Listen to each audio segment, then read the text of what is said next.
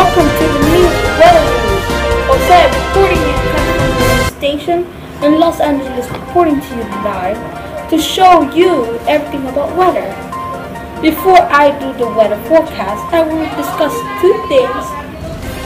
The layer of the atmosphere, the atmosphere and the global warming.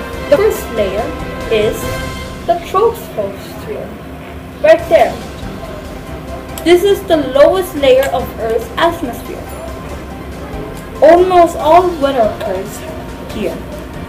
Also, the tip of the Mount Everest reaches into the troposphere. So here to here is where Mount Everest tip is. Next comes the stratosphere. This is where aircraft flies and where the ozone layer is. This is where we get protected from the sun's rays. The mesosphere is where sounding rockets finally go down to where Earth is and where meteor melts and dissolves so Earth can be protected. So here, where you see meteorites, this is where meteors will dissolve when meteor come down to Earth. So that's why you, there's rarely meteorites crashing down to Earth's surface. So if there's a big meteorite coming down, it won't dissolve it because it's not like this tiny speck of meteorite. Coming down, it just dissolves a little bit of it and then like the moon. The moon crashes and there.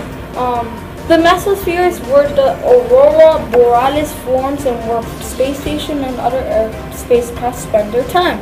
So right here is where you um, you see the air pole the aurora borealis um, and that is um, it's like lights.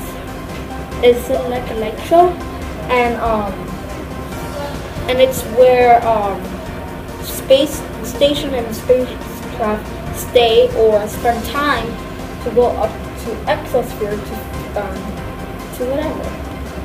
The exosphere is where the satellites orbit the earth. So this orbits the earth orbits the earth to detect things, which I have no idea which what is attempt.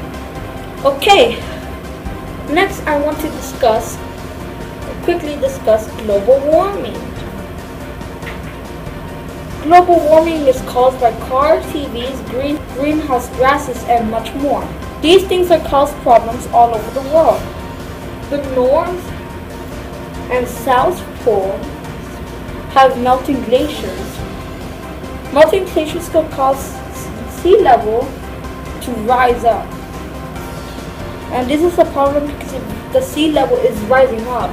Some areas will be flooded and some areas will be cut off like right here. Or like like right here. Or something like that. Drinkable water is getting evaporated and will not participate, which means it will not rain down and because of that there are dangerous heat waves and will cause forest fire and could cause food shortage. And forest fires makes animals run away from their forest. And when animals run away to the forest they go somewhere else. But if they have nowhere to live they'll die. So that makes us not have that much food for uh, for winter or summer or spring or fall. Um, now over to Brian in the UK.